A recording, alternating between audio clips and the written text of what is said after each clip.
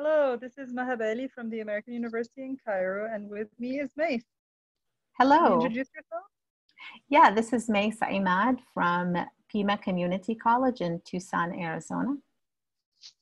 Tell me, Mays, what you were telling me today about um, how you ask students about how they are and why you do it that way.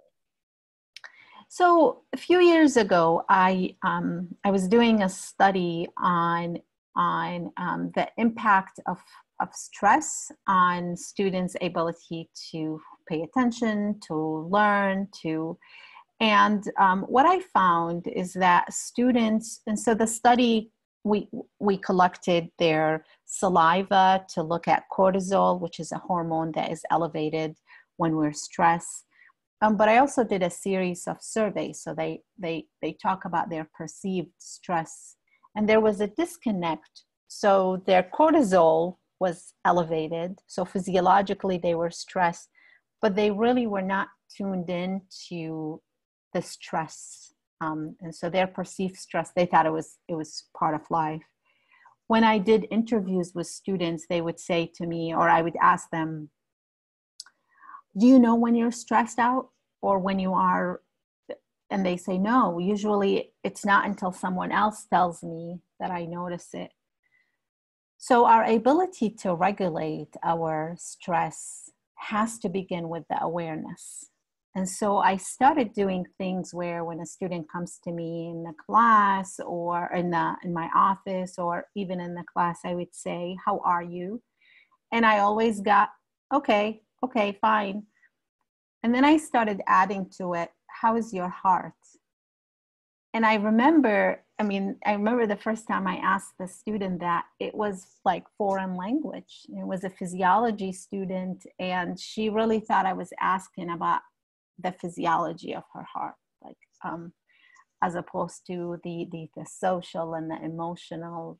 Um, and and so I, seeing the reaction, I implemented this as part of my my weekly announcement, as part of my um, interaction with the student. And the idea behind it was that I wanted them to to tune into their heart, to tune into and to to check in, but also connect that. How is your state right now? And how does that impact your ability to connect with the materials? To, if my heart is hurting, if I'm heartbroken, um, it's going to be difficult to to to to connect and delve into something um, what because the brain is also coming in and, and prioritizing survival if you will over over learning.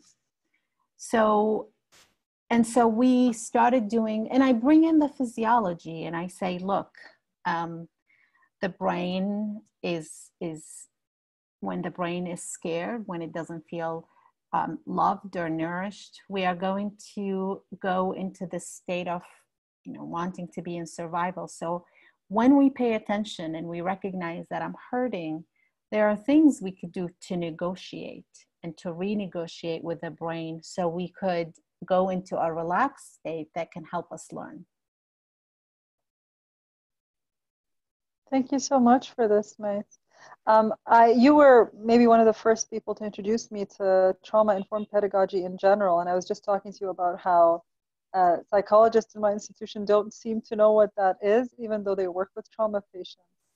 Um, mm-hmm. and so um, I was just also talking about some of your articles on that. What are some um, other tips that you would give educators? Uh, I know you have a lot of those mm-hmm. on um, beyond asking students how they are in that you know honest authentic way where you really want to know how they're feeling? Mm-hmm. what are some mm-hmm. of the other things that you try to do in your teaching to support students through this um, and also give them agency to take care of themselves?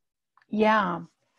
Thank you for asking. So it's interesting. When i started offering these sessions i had people say to me is it trauma?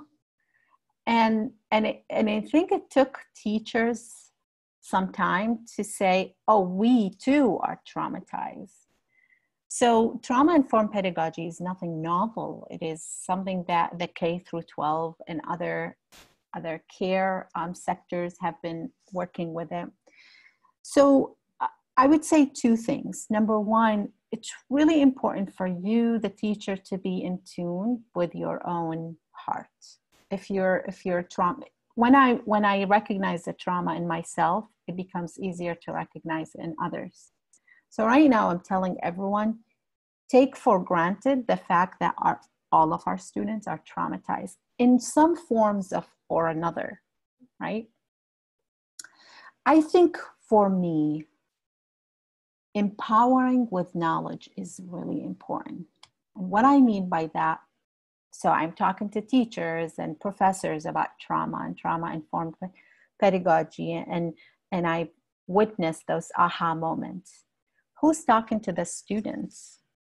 And I say this because, again, through my research with the students, I started offering, this is before the pandemic, I started offering these mini, call them hello brain workshops and in those hello brain workshops they come in 20 minutes they come in and they learn something about the brain as it relates to learning and every time i would have a student that would have this aha moment of oh i didn't know.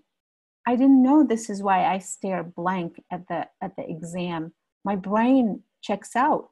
I didn't know that there are th- there are things i could do. So when the pandemic started and I started offering these webinars to student to faculty, I also was teaching and so I was talking to my students, if you are experiencing this, if you are having that, this is all normal. And my students would say to me, thank you. I, I, I thought I became stupid. I thought I am not motivated.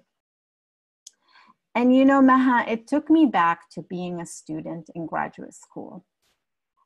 And the invasion of Iraq happened, and my family, they're there, and, and we lost contact with them.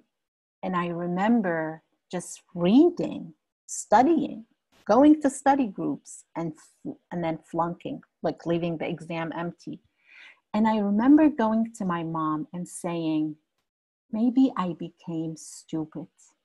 I mean, just that sentence, maybe I became stupid.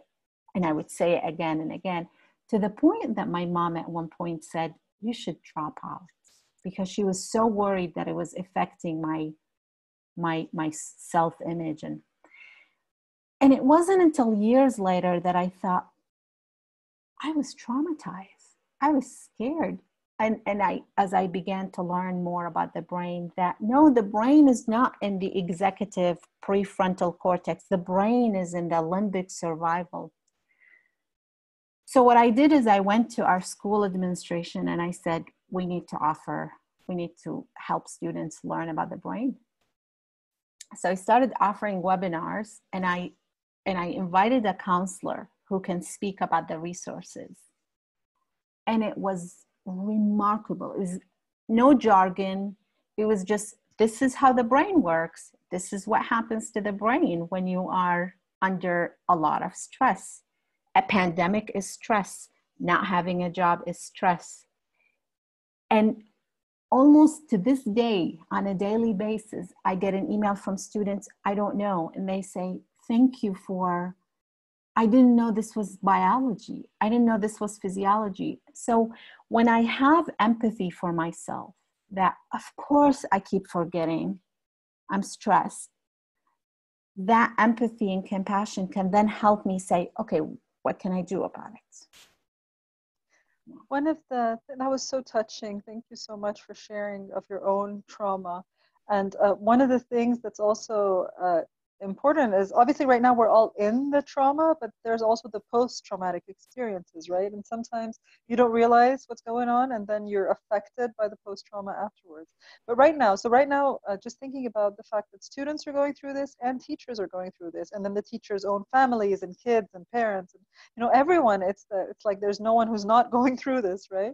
Mm-hmm. Um, one of the things that I try based on your work and Karen Costa's work is just try to tell them give students choices about things, um, mm-hmm. give students options, be more flexible about deadlines, uh, mm-hmm. do the minimum workload needed, and things like that. But I also realize that this is a lot of load on the teachers themselves, and the teachers need to take care of themselves too. yeah. what are some of the things that you feel seem accessible to a teacher who's never taught online except during the pandemic so they're already new to teaching online and that also works for students without overloading the teacher. It's this me as yeah. a faculty developer i i feel like i might be overloading the teachers with trying to take care of the students but they need to take care of themselves too so. absolutely. Yes yes absolutely. And i mean so um, we we want structure.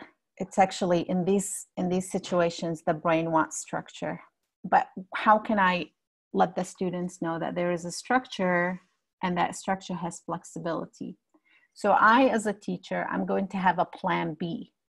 And my plan b is that students are going to ask for an extension. And what will i do when they ask for an extension?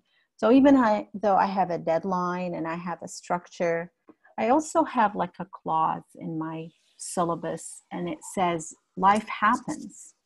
And when life happens come and we could work something out i have something in my before the pandemic in my classes where i tell the students if you don't do well on a quiz and i have a lot of quizzes you could take it again.